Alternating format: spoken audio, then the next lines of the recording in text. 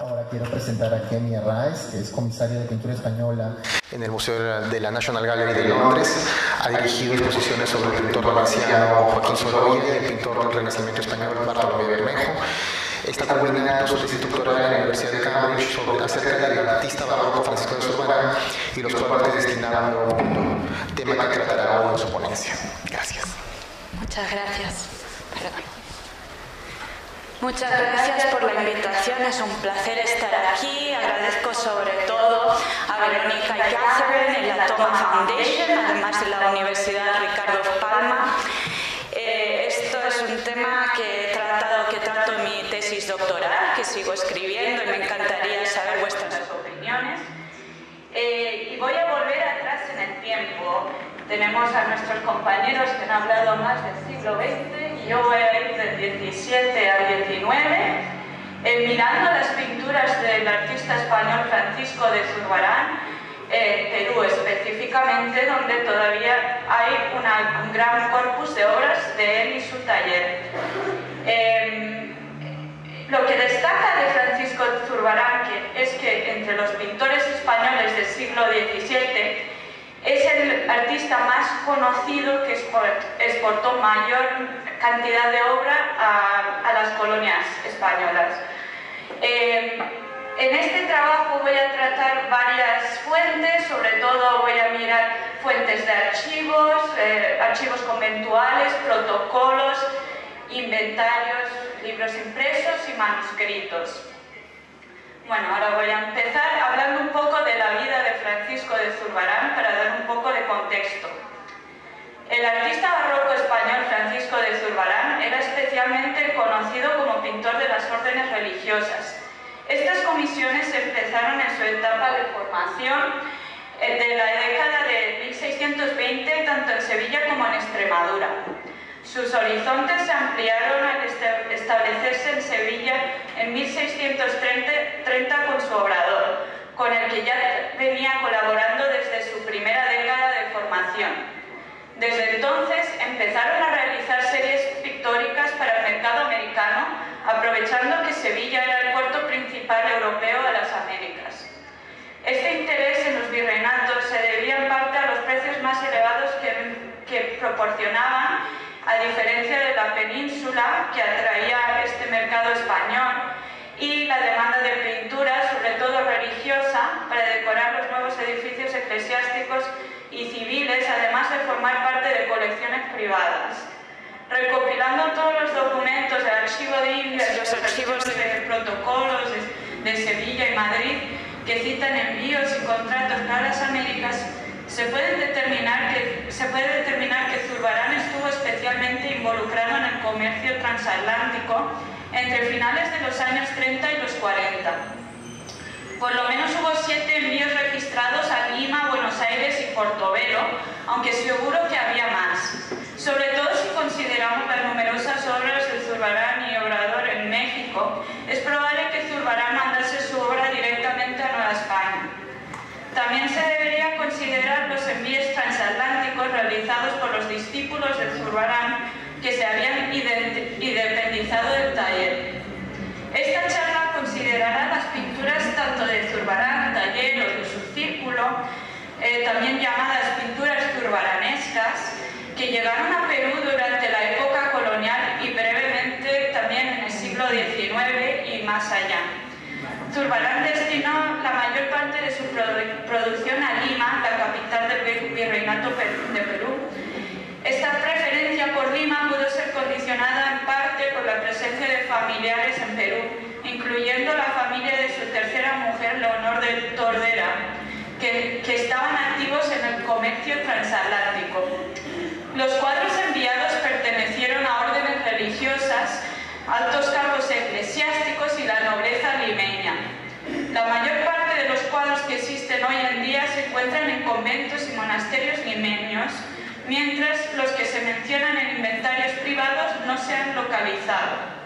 También se conocen más pinturas registradas en Perú en el siglo XVIII que en el siglo XVII, probablemente por la pérdida de muchos archivos y cuadros tras múltiples terremotos, incendios y reformas. La mayoría de los embarcamientos sevillanos con pinturas zurbaranescas que pasaron por Portobelo, Buenos Aires y Cartagena, Colombia, tenían como destino final Lima.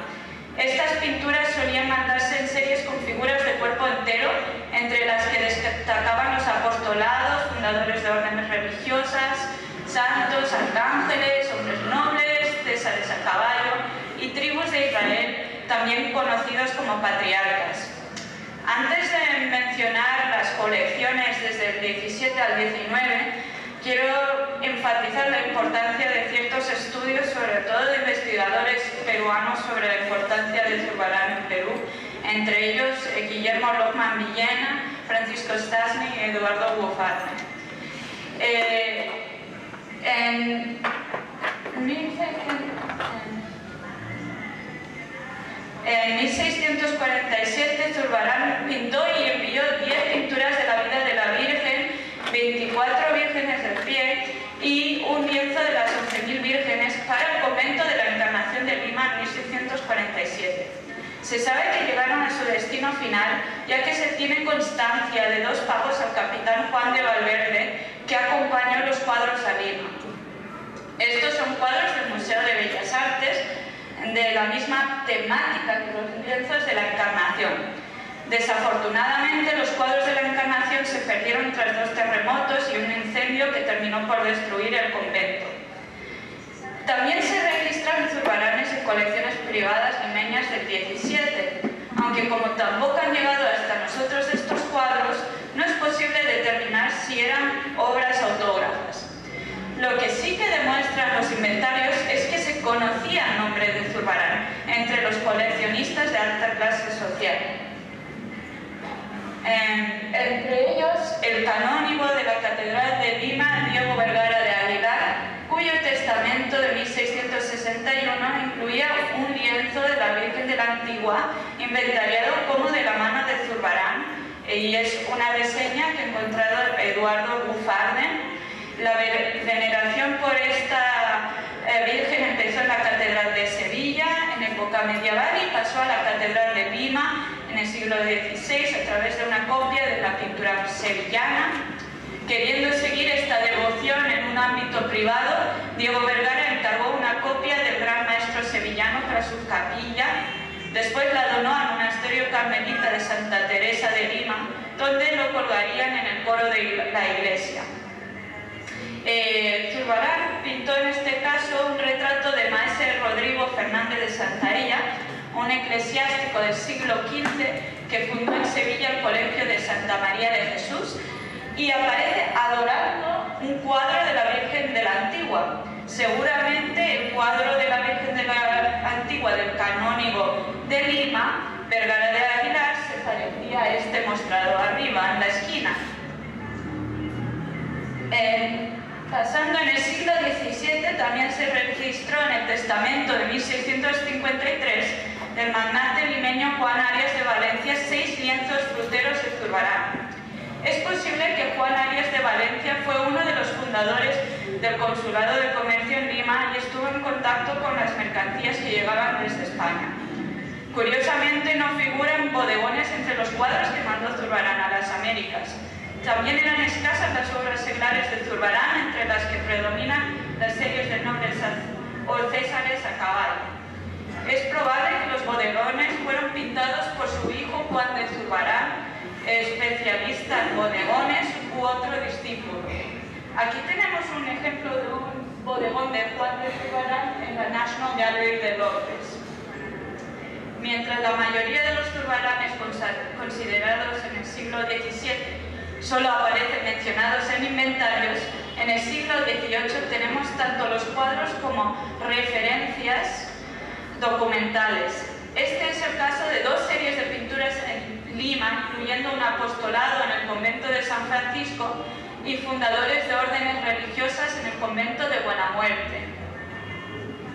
El apostolado de San Francisco consiste de 13 apóstoles con Cristo y la Virgen desde que fueron descubiertos en 1943 por el historiador del arte Márquez de Lozoya, ya se consideraban obras de Zurbarán y su obrador y fueron datados a 1640.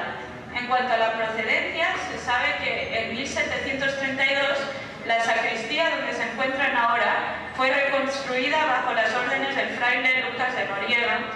Nada más construirse, solo se mencionaban pinturas de la vida de San José y otros ornamentos. No fue hasta 1785 que el fraile Juan de Marimón inventarió el apostolado y otros objetos litúrgicos. Es posible que este apostolado estuviese en otra parte del convento hasta entonces, que hubiese pertenecido a otra orden religiosa o incluso a una colección privada. Mientras que se desconoce cómo llegó el apostolado de San Francisco, se sabe que la serie de fundadores de órdenes del convento de eh, Buena Muerte fue donada por una señora noble llamada Doña Gertrudis de Vargas al padre Laguna en febrero de 1769. Supuestamente donó 30 cuadros, aunque no se conocían tantos fundadores de órdenes en el siglo XVII y, tampoco, y también es improbable que tuviese tantos de esa temática en su colección privada. Es posible que la donante heredó los cuadros de familiares y probablemente desde el inicio fueron, 13 cuadros que han llegado hasta nosotros y cuelgan en la sacristía del siglo XVIII. Estos son sobre todo pinturas del obrador de Zurbarán con algún pasaje por el maestro y datan hacia 1640. Son de calidad superior a la única otra serie completa de fundadores de órdenes en Castellón de la Plana, en la Comunidad de Valencia, eh, la cual es enteramente producto de Obrador.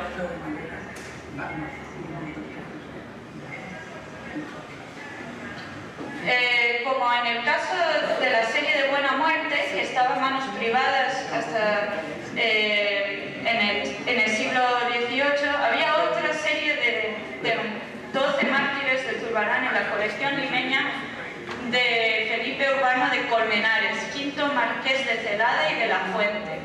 Este, esta fue estudiada en detalle en la tesis del historiador del arte Antonio Olguera. El marqués de Celada era uno de los nobles más ricos del siglo XVIII por sus altos cargos administrativos como secretario del virrey y su posesión de tierras. También vivió en España donde desempeñó una carrera militar. Allí probablemente desarrolló su interés por la pintura española que figuraría en su colección.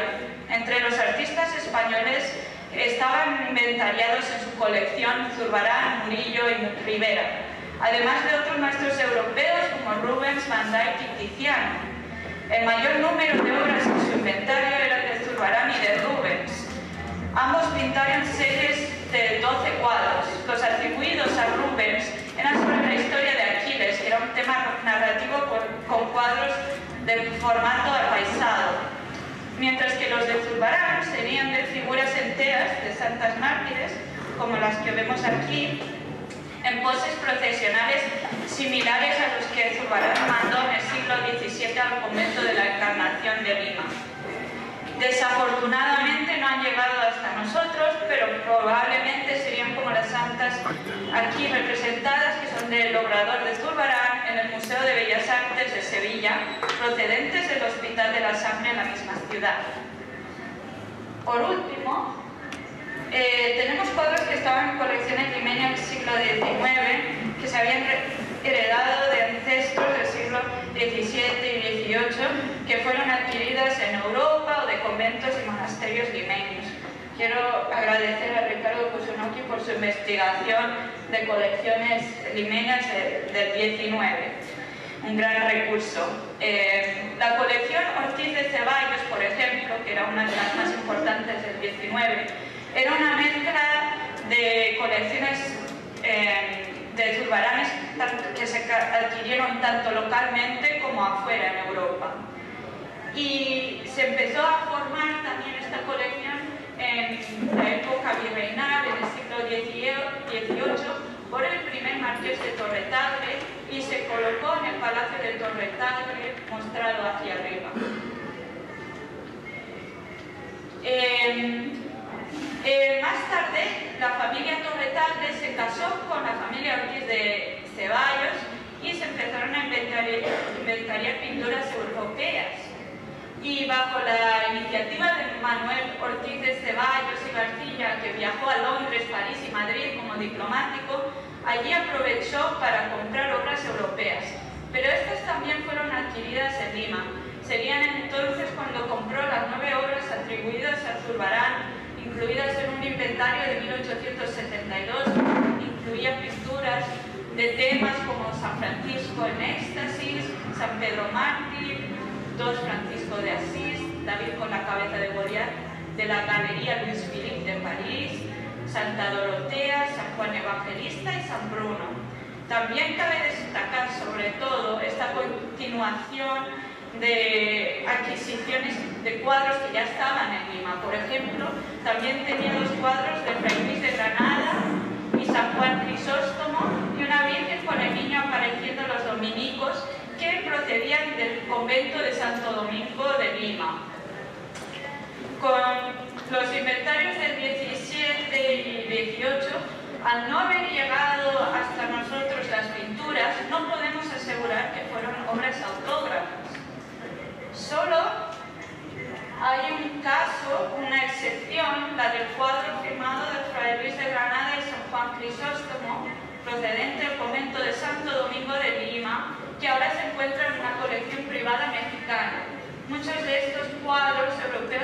a lo largo del siglo XX y es bastante probable que cuadros atribuidos a Zurbarán en colecciones estadounidenses y privadas pasaron por colecciones peruanas y es algo en lo que quiero indagar y investigar, eh, sobre todo en el caso de los Estados Unidos. en general, hemos comprobado que las grandes colecciones de turbaranes en Perú se concentraban en Lima.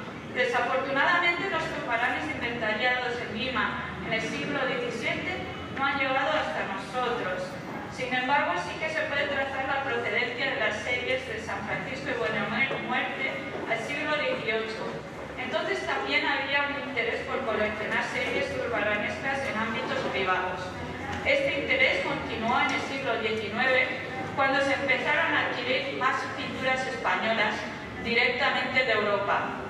Esta ponencia demuestra un interés prolongado por la obra de Zurbarán en el Perú desde el siglo XVII al XIX y como mencionó el insigne historiador peruano César Pacheco Vélez, en ninguna otra ciudad de Hispanoamérica hay un número de cuadros atribuidos a Zurbarán y su taller que ni lejanamente puedan confrontarse con los cerca de 100 lienzos de taller del maestro de Fuente de Cantos que llegaron a concentrarse en la capital del virreinato peruano en el momento de su mayor esplendor.